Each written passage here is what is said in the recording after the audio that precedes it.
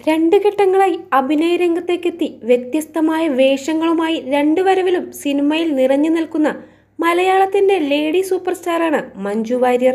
ആദ്യ സമയത്തും രണ്ടാം വരവിലും സിനിമാ ലോകം ഇരുകൈയും നീട്ടിയാണ് താരത്തെ സ്വീകരിച്ചത്.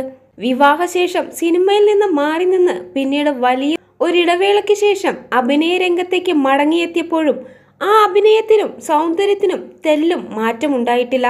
തന്റെ നാട്ടുകാരിയായ മഞ്ജു വാര്യരെ കുറിച്ച് മുമ്പൊരിക്കൽ സംവിധായകൻ സത്യ അന്തിക്കാട് പറഞ്ഞ വാക്കുകളാണിപ്പോൾ വീണ്ടും വൈറലാകുന്നത്. സല്ലാപത്തിന്റെ സെറ്റിൽ വെച്ചാണ് മഞ്ജുവിനെ ആദ്യമായി കാണുന്നതെന്ന് സത്യൻ അന്തിക്കാട് പറയുന്നു. മഞ്ജുവിന്റെ രണ്ടാമത്തെ സിനിമ തൂവൽ കൊട്ടാരമായിരുന്നു.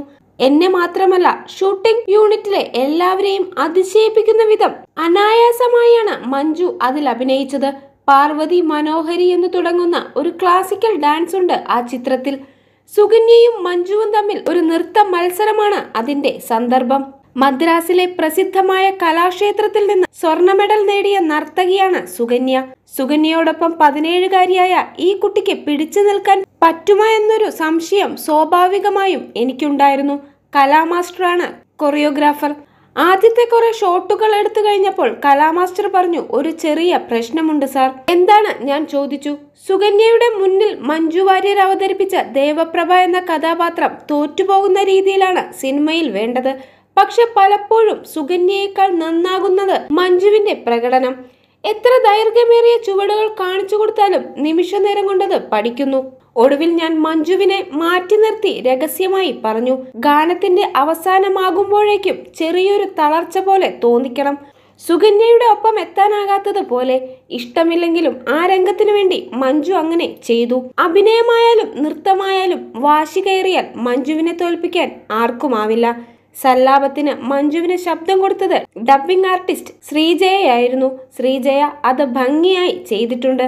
എങ്കിലും തൂവൽ കൊട്ടാരത്തിലെ സ്വാഭാവികതയുള്ള അഭിനയം കണ്ടപ്പോൾ ഞാൻ മഞ്ജുവിനോട് പറഞ്ഞു ഈ സിനിമയിൽ സ്വന്തം ശബ്ദം മതി. അയ്യോ വേണ്ട വേണ്ട. എന്റെ ശബ്ദം മഹാബോറാണ് എന്നായിരുന്നു മഞ്ജുവിന്റെ മറുപടി.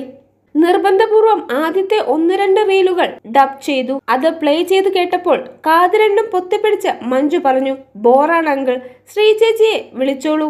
സാരമില്ല നമുക്ക് നോക്കാം ഞാൻ പറഞ്ഞു. തുടർച്ചയായി അടുത്ത എല്ലാ റീലുകളും മഞ്ജു തന്നെ ഡബ് ചെയ്തു.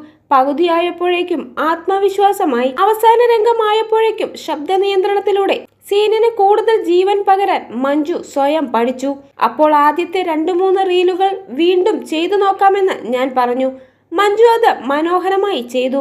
ഇന്ന് മോഹൻലാലിന്റെയും മമ്മൂട്ടിയുടെയും ശബ്ദം പോലെ മലയാളികൾക്ക് പരിചിതമാണ് മഞ്ജുവിന്റെ ശബ്ദവുമെന്ന് സത്യനന്ദിക്കാട് വ്യക്തമാക്കുന്നു.